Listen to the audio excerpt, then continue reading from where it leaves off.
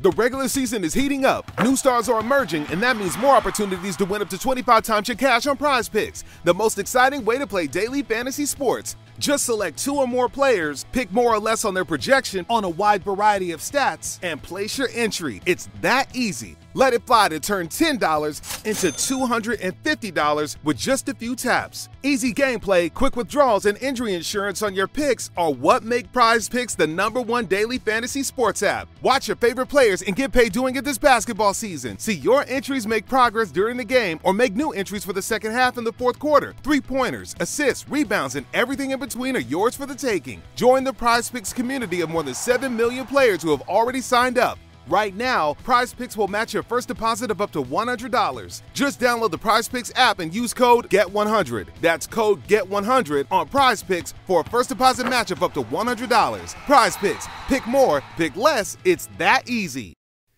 Hello and welcome. It is Erick Erickson here from my flagship station in Atlanta, Georgia, WSB, broadcasting across the nation. Delighted to have you with me. The phone number, 877- 973 7425 if you want to be on the program, although you have to wait. I have a guest. Now, I, I, I to introduce my guest, I, I got to set the stage for you here with me. As you are aware, I grew up in Dubai. We had one music channel, and that music channel uh, played a variety of music from, I mean, everything you other than rap. Uh, it was classical music in the mornings then there was a American Top 40 with Casey Kasem. And then in the evenings, it would be British pop. Um, and then if one of the sheikhs died or one of the, the uh, female ruling house members, it was like a week to a month, depending on their status, of just classical music. That was it. That was our only radio outlet in Dubai the entire time I was there, one English speaking station. But we had TV shows, uh, mostly from Britain, that highlighted a lot of favorites. I was not into music at an early age, other than classical music, because I was a nerd. My sisters, however, my lord, did they love the 80s. And now I am married to a woman who knows nothing but 80s music. My musical taste developed in the 90s when I moved back to the States. Pearl Jam, greatest band of all time. I don't care. You're wrong. Pearl Jam is the greatest. And I love modern rock. I love alternative. My wife, however, musical taste, her it, it stopped after about 89. That is the last year that music was good for my wife. So, in 1983, new radio station comes online in New York, Z100. They do something called the Morning Zoo. In fact, many stations around the country have shows they call the Morning Zoo or such. And my next guest, Scott Shannon, actually invented the format, started Z100, got it from worst to first in New York City in about 76 days and pretty much every major artist from the 80s was pretty much discovered by Scott and my wife has him to thank and I have him to blame for my wife's musical tastes. Scott joins me. How are you? Hello, Erick. Uh, I uh, I asked my friend Sean Hannity about you. He neglected to tell me that you, you were on so many stations. I thought you were just on SB. Excuse me.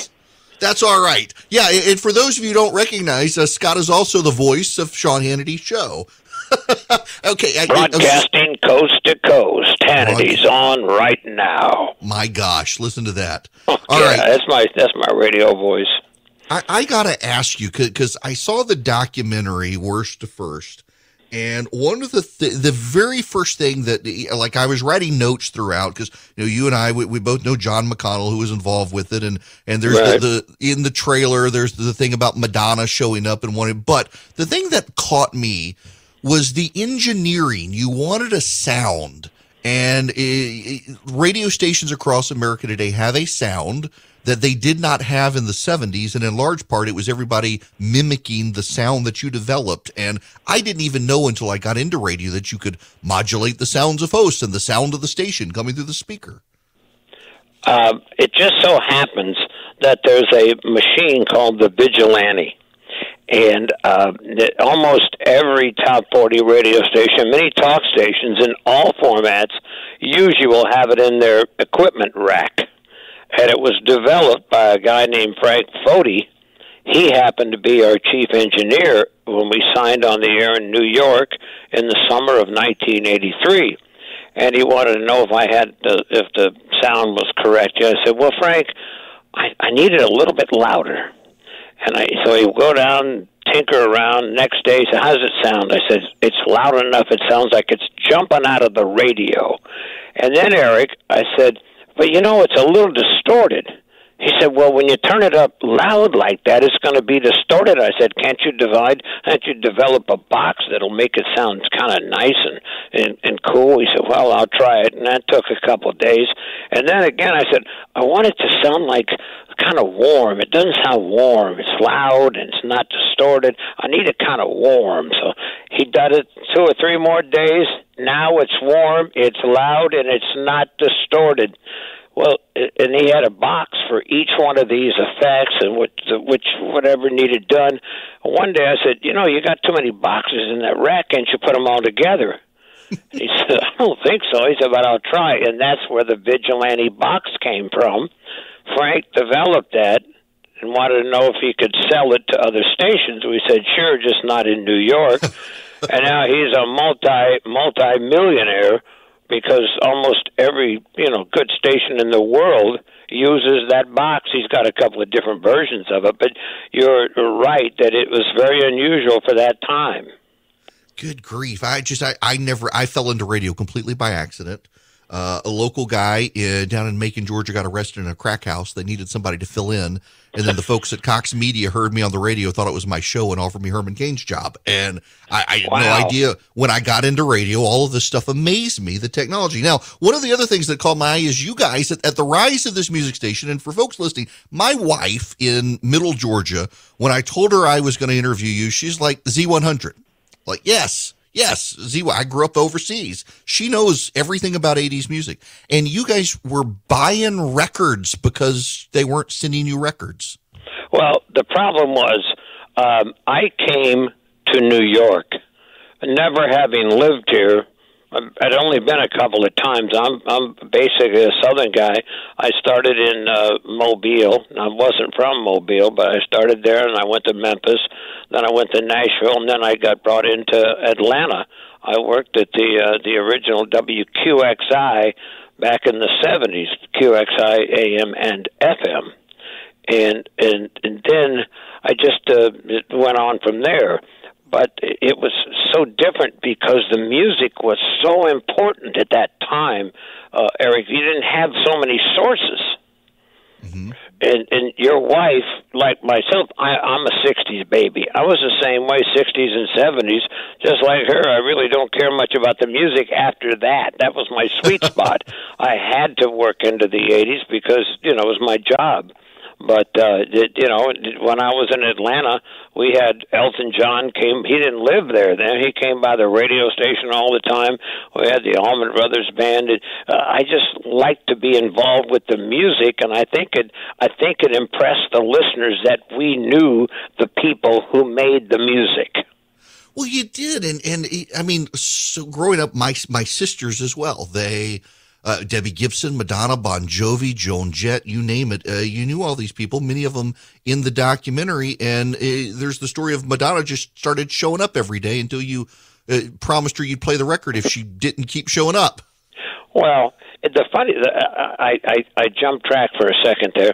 Uh, the weird part about it that, that I didn't really get into is the fact that this station was based in Secaucus. Right, I've been now, there. There's nothing there. It, New Yorkers, I just might have not. I might as well have been in Dubai, where you're from, as, you know, because the record people, you couldn't get a taxi to go to Secaucus. Oh, we don't go to we don't go to New Jersey.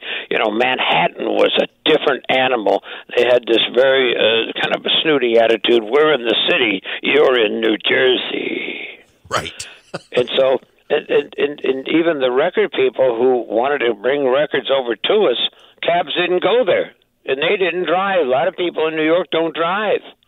So every week I would send our music director down to Tower Records back when they had record stores scattered around the metropolises, and and and he would pick up. I'd say, pick up this, pick up this one, get this uh, police record, and and he'd bring them by. And then we also would ask people uh, if there's a certain song that you'd like to hear, send us a copy of it, send us your album, and we'll try to play it.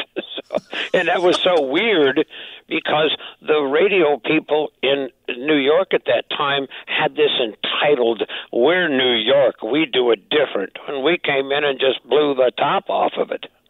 Well, you did, and, and the rating spoke for, for itself. Now, before I have to let you go, I, I want to ask you more, I guess, philosophically here. Having done this, still involved in, in music and radio, you got the age of the streaming service. And I remember there was a, the iconic station in Atlanta when I was in college that did modern rock alternative was 99X. And that was a great could, radio station, great program director, great staff. That was also a very iconic station. It was, and you could listen every day and discover songs you had never heard. And now it seems like radio is so addicted to playing what will re- register with Nielsen, you're never going to find new groups on the radio. You've got to go to Spotify or Apple Music and use an algorithm. And I, I would love to have a DJ I feel like I got a relationship with who's playing new songs I've never heard of that he knows I'm going to like. Well, the problem the problem with that is so many people want to hear music they're familiar with. Not everybody is as adventurous as you are, or willing to you know go through the. And the other thing too is uh, it's it's a me world now. They want to hear what they want to hear. They want to hear their unusual mix. I'm talking about they are listeners. Right. And, and, and that's what's going on now. That's why you can make your own mix and you can hit reject or go on to the next one. Everything has changed. So, how do you see the future then in, in traditional radio as as so many people move to digital? Well, let me tell you, it all it all well, look what you're look what you've done in a short period of time. It all depends on the personalities on the radio and the content. It's mm-hmm. suddenly become a content business because you go to different cities, all the stations sound the same. You go to Atlanta, you go to Macon, you go to Mobile, you go to Chicago, you, it, the music's the same. The stations got the same slogans. They got the same contest. They all want you to go, you know, to and, and sign up on social media. It's different, you know, but it's mm-hmm. all about the friends that they make on the radio. That yeah, I think that's a fair point. Okay, so uh, last question before I have to let you go here. I, I, would be remiss if I did not mention Elvis Duran, who uh, collaborated on this documentary, and yep. to some degree now is his. You were at Z100, and now he is, and y'all are to a degree competitors, but also um, have have helped produce this great documentary together. And Z100 continues to be an iconic radio station, something you built uh, I always admire people, frankly, Scott, who can build something great and see it not fall apart when they walk away. Well, that's all in the design. It was built. It was built to last. I was known as a have gun will travel kind of programmer, and I'd love to challenge. I hardly stayed anywhere more than two to three years. I stayed in uh, in Atlanta for two and a half years, fixed the station, and moved on. And uh, and, and and that's just what I did. In this situation, this film has a couple of different lessons. Number one, build it to last, but most importantly, uh, if you want something to succeed, hire the right people and leave them the hell alone. Amen to that. My, Gosh, there's so much tinkering these days from senior management yeah. and how many radio people companies came around into America. you when you first started in radio, started your career? How many people came in and told you what you were doing wrong? All of them, and I still ignore them. you know, you look at the greats. Rush Limbaugh got fired from his first five radio jobs. Right. Howard Stern got fired six or seven times because they wanted to change those guys. Yeah, you know, um, so when when I got started, uh, Rush was a, a friend and mentor, and he told me I needed a, a designated a hole uh, that no one in radio will tell you you suck until they cancel you. So have somebody who can tell you you suck in advance, so you have time to fix it. it's a great line. He was he was uh, he also loved music. I mean, he, he was a he was a, a really a, he's like your wife. He was a child of the '80s. He loved '80s music. Yeah, he did. He told me that my musical taste sucked. That I, I needed to just listen to my wife. the movie is worst to first. The true story of Z100. We call it a David and Goliath story and it's available now on pre-order on Apple TV, Google Play, and Friday uh, it drops completely. You can get video on demand. It's a great movie. I think you'll love it no matter what you're interested in. But if you like radio, there's some really good lessons in it. And I sure. thank you for having me, Erick. Scott Shannon, it's a pleasure. Thank you so much for being with me. Scott Shannon started Z100 in New York. The movie, the documentary is out this week, Apple TV and the like. You can get it. Worst to First, the true story of Z100 New York. You know, it, it just, I watched it and it was a, uh, I guess, flashback to a period of my life where I was not in the country and then I tell my wife about it. She knows all the musicians. She she's heard of the station. She knows the branding. If you've ever had a morning station anywhere in the country that had something that you would call the morning zoo, you have it because of what Scott Shannon did uh, with Z100 in New York. Hello there. It is Erick Erickson here. I want to go back to the phones 877 973 7425. Marcus, you are going to be up next. Welcome. Hello. How you doing, Erick? Great. How are you? Um, I'm pretty good. I was just wanting to bring up a point about diseases coming up out of Mexico and, you know, abroad as well. Mm-hmm. Coming in from other countries, Mexico, cholera, potentially Ebola.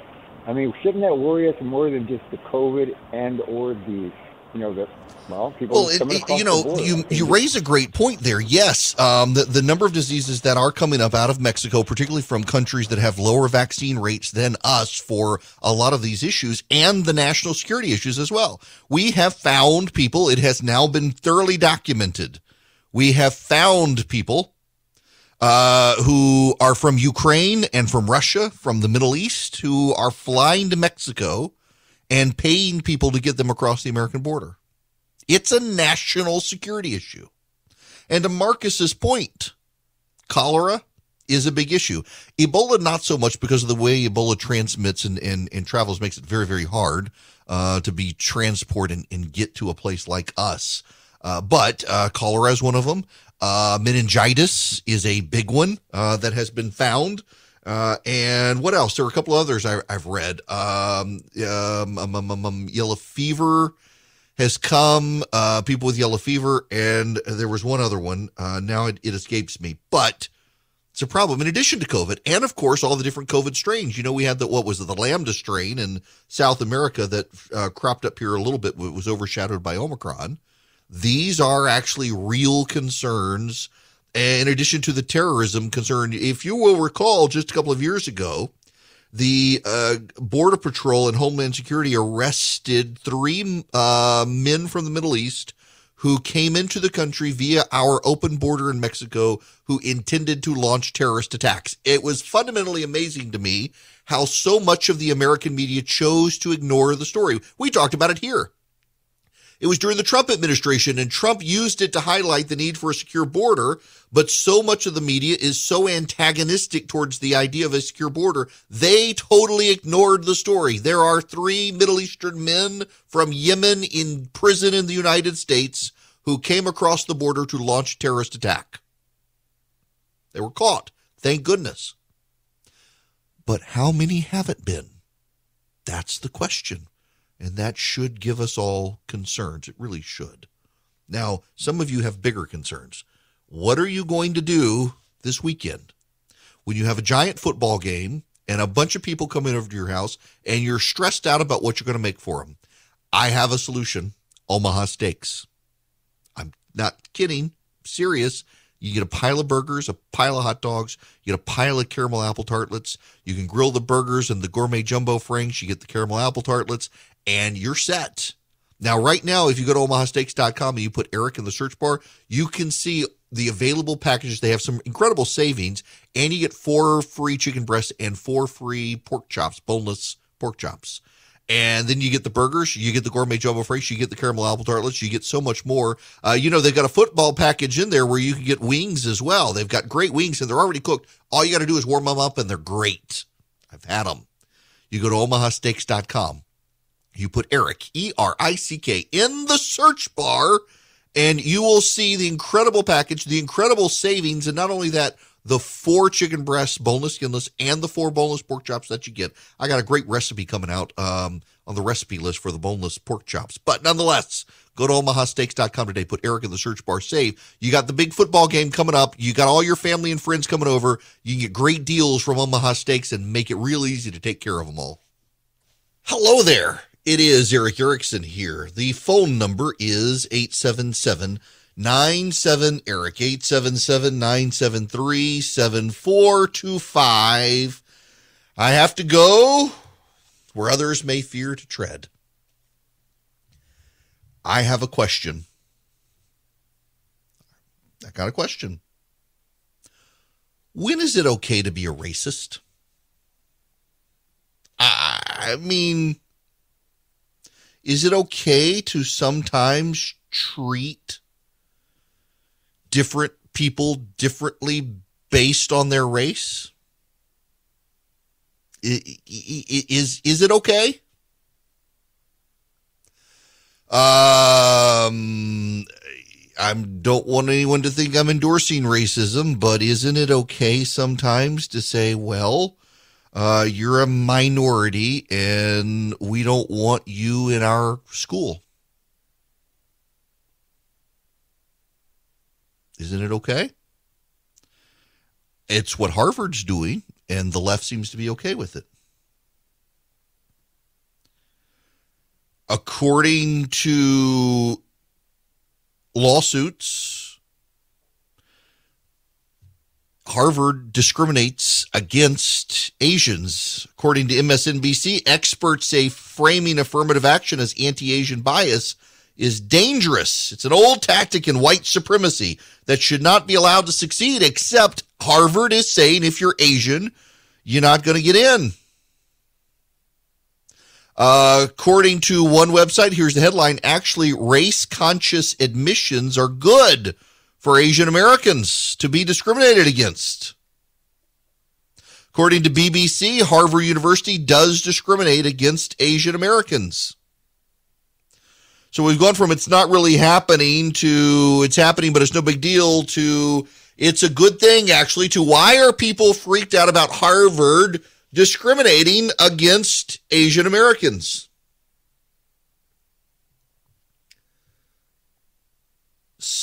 Some of you think racism's okay if it benefits you. This is my problem with affirmative action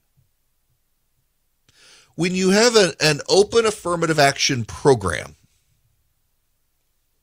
how do you know the person who got in is really qualified? How do you know the person who has the job is really qualified? When you are discriminating against Asians at Harvard, and first you deny it, and then you say, well, okay, we're doing it, but it's actually a good thing aren't you saying racism is good because you are specifically targeting a race? And then you say, no, no, no, no, no, actually, actually, it's, it's ethnicity. No, no, the hell it's not. What Harvard is doing is essentially saying that uh, Asian Americans are academically more gifted than all the other races. And so if all the Asian American students applied to Harvard, based on their academics, uh, you'd have to let them all in at the expense of everyone else. If we can't have all those Asians at Harvard now, I mean, that's racism. It, it, it is racism. It is uh, treating a race differently. If all the Asian American kids applied to Harvard, they would be ahead of the white kids, the black kids, the Hispanic kids and you would have to let them in first based on the merits. Why not? Why not if they apply? Let them in on the merits.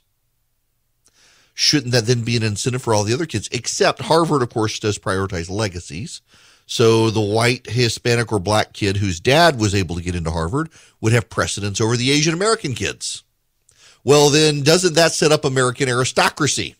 So you're discriminating one way or the other. The, the question is discrimination. It's like, for example, I know people who refuse to eat at Chick fil A.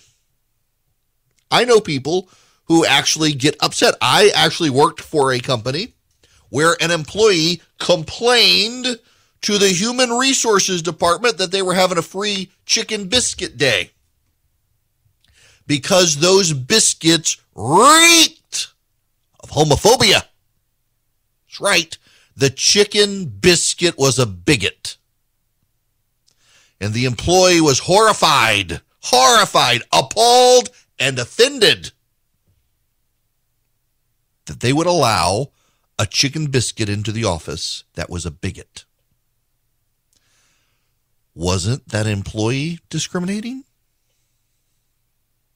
Wasn't that employee discriminating? I mean, his argument was that uh, the Cathy family are Christians. The Kathy, Cathy family has supported Christian organizations in the past, and some of those Christian organizations have not been so down with the non biblical sexual ethics. And therefore, he was opposed to going to Chick fil A. Now, I got a friend of mine who is gay who would eat at Chick fil A every single day of the week and said uh, maybe that will make him straight, but it's okay because he loves his chicken sandwich more than he loves his partner. But then you got these other people who they won't eat at Chick fil A because Cathy's are Christians Is that discrimination. Now, you could say it's their individual choice. That's true. It is their individual choice. It's also Harvard's individual choice to discriminate against Asian Americans. The difference is you don't get federal funds and Harvard does. And if you get federal funds, you can't discriminate. But Harvard has chosen to discriminate. And we've gone from denying it to now saying it's okay. But you know, there's there's there is something more here. There is something more we we need to figure out here.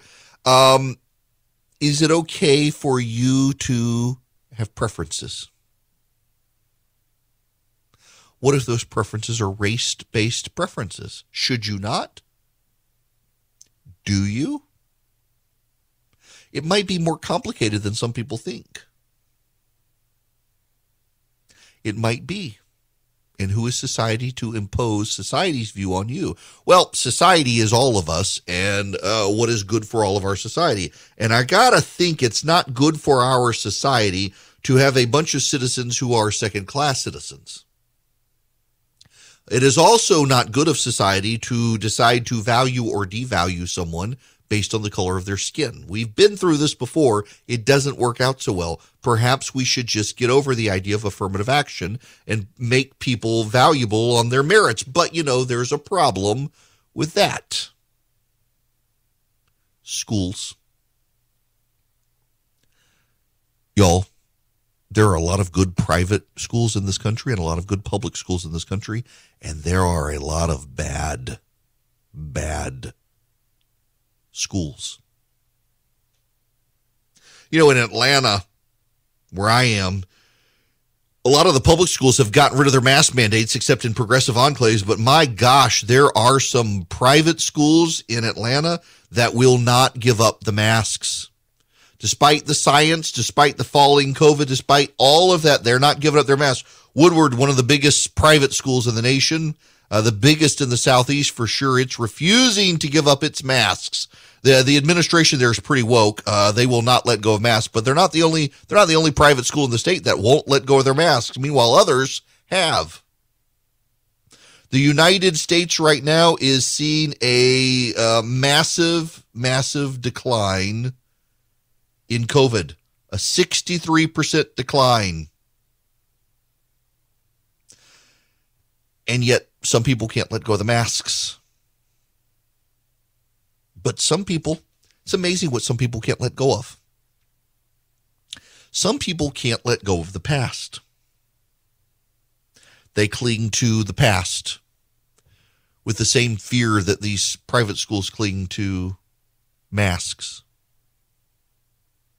You can't move on from that which paralyzed you. You can't move on from prior history. And our inability to move forward causes us problems. Our inability to recognize there needs to be change causes us problems. With masks, there's a psychological, mental, emotional toll taken on children.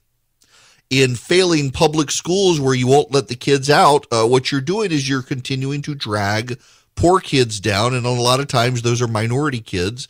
And then you say, well, we should all have merit based hirings. Well, how can someone who went to a poor, failing school have any merit whatsoever to get to the job unless you discriminate against the more successful people? You know, the solution, it would seem to all of this, would be to improve the schools and let the parents take their kids out of schools that are failing and put them in better schools. I suspect in some of these private schools where the masks mandates won't come down because the administration is scared of a virus they can't control, you're going to have parents in a revolt. But the parents whose kids are stuck in public schools can't revolt. The public schools are the most racist institution in the United States of America by default because the schools are overwhelmingly assigned and designed around zip codes where people live, and people tend to live among their own kind, whether it's white, black, rich, poor, you name it. And so those schools reflect their neighborhoods, except in areas of gentrification, unless you go through busing and you shuffle kids all over God's good earth in the name of giving them an education, and then you set them up to fail by forcing them to get up at five o'clock in the morning to drive halfway across the town and be there by eight o'clock in the morning so that they can get fed and get an education, and then put them on a bus and send them two hours back home where they're exhausted, tired, hungry, and you expect them to do all their homework and perform. Why not give the parents a choice? Why not go back to neighborhood schools? why not allow people a leg up? Part of the issue as well is family.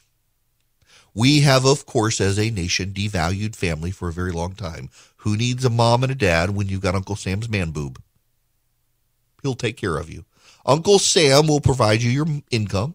Uncle Sam will provide you your food. Uncle Sam will provide you your education. Uncle Sam will these days also provide you with your phone and your crack pipe real wholesome values there from Uncle Sam.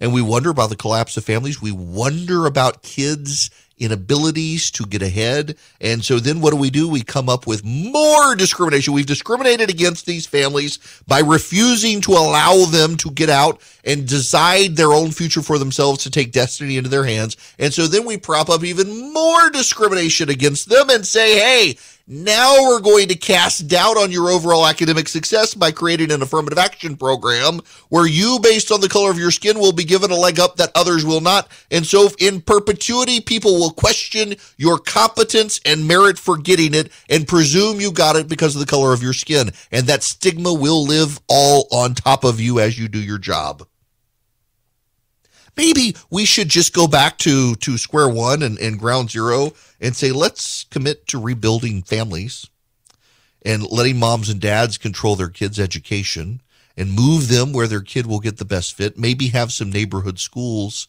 and then maybe see if we can get these kids through 12 years of education to get into college not to have the college prioritize the kids who came before and prop up their own aristocracy, but give the kids based on merit a leg up.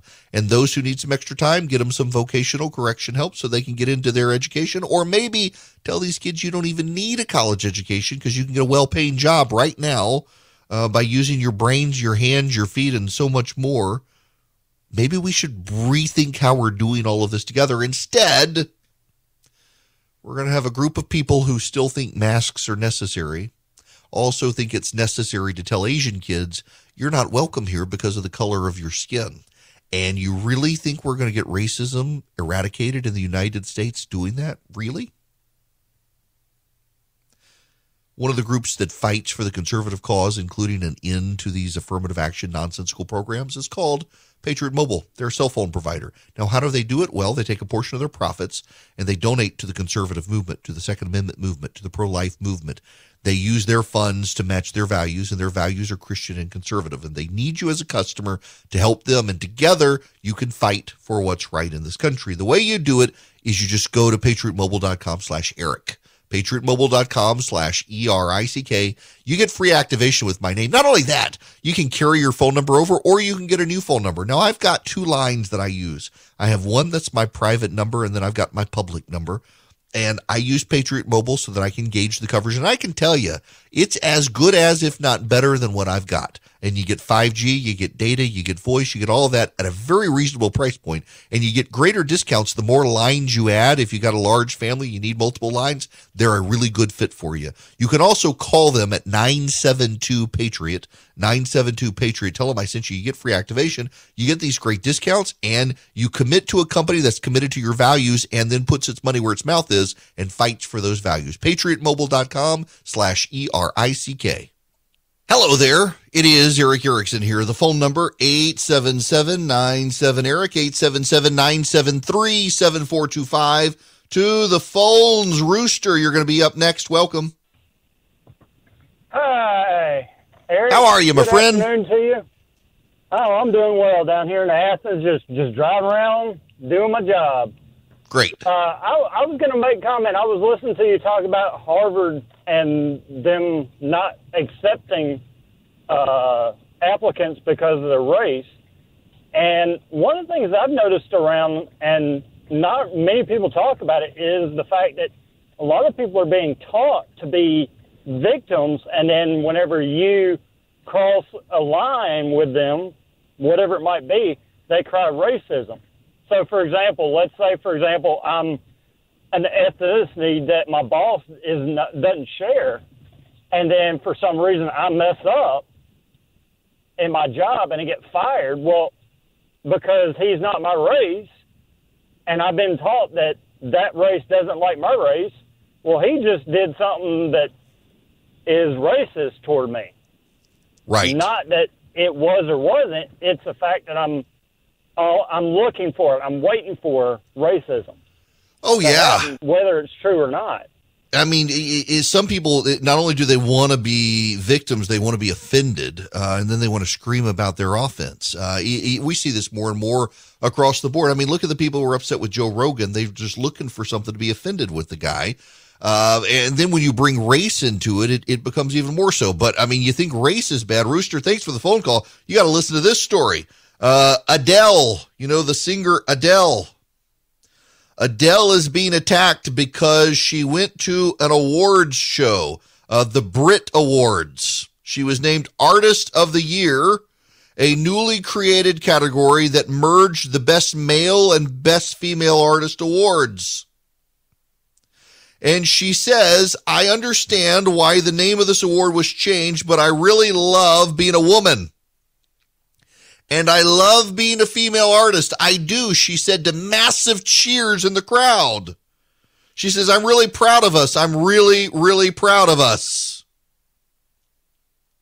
But there was outrage, online outrage.